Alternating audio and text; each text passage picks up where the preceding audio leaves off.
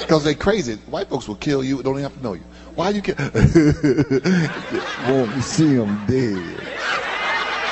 Crazy as cat shit. And got all the answers in court. They asked the crazy white man, crazy white man, why did you kill your wife? I was sleepwalking. This is a very unusual case. We'll have to study it. Crazy nigga, why'd you kill your wife? I was sleepwalking. Oh, nigga, really? Well, we're going to put you to sleep. We're going to put an end to all of this. No, nigga, there'll be no more walking around.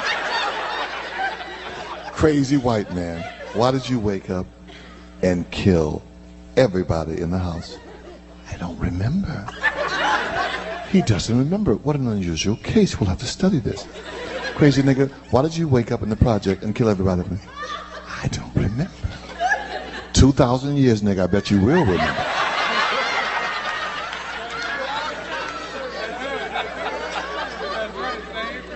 Crazy white man, why did you wake up and kill everybody on your block? I'm 12 different personalities. 12 different people? How unusual. We'll have to study this. Crazy nigga, why did you wake up and kill everybody at BET on your job? Because I'm 12 different personalities. Oh, really, nigga? Well, pick who you want to be, because some niggas going to jail.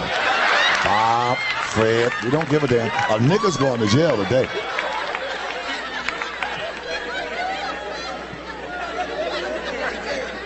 They don't let us get away with bullshit.